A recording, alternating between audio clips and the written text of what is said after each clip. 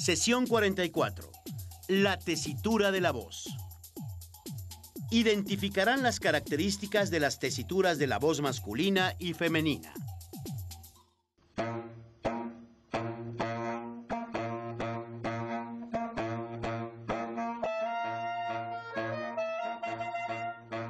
La diferencia del sonido que emiten estos dos instrumentos se debe principalmente a la tesitura.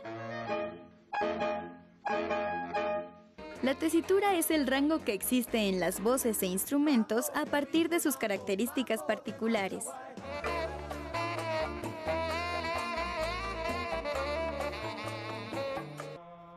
La palabra tesitura proviene del término italiano tesitura, que significa textura. Las voces tienen diferentes tesituras, de acuerdo con las características particulares de las personas.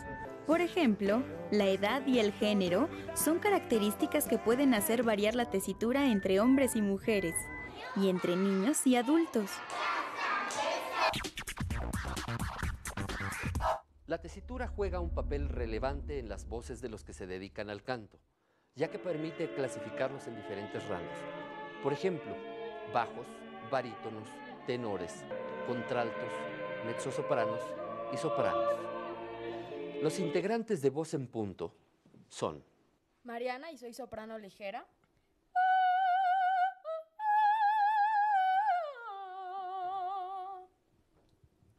Vanessa, soy soprano lírico ligera.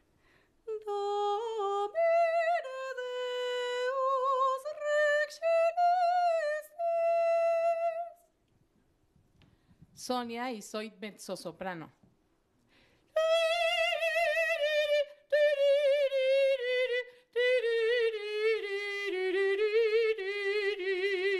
Yo soy Santiago y mi amigo Luis. Somos tenores.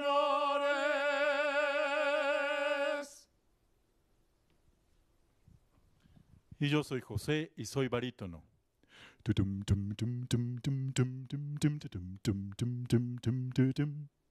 La tesitura es el rango en el que una voz se expresa sin dificultad, sin forzarse. Es posible que dicha tesitura varíe con trabajo y preparación. De ahí que la tesitura de cantantes profesionales alcance rangos más amplios. José, ¿nos puedes hablar algo al respecto de la tesitura de la voz? Claro, la tesitura es la característica que define el tipo de la voz, es decir, su color o su extensión o rango. No es necesario ser cantante para ser soprano o tenor. La tesitura es una característica natural de la voz. Solo es necesario cuidarla para evitar que se lesione.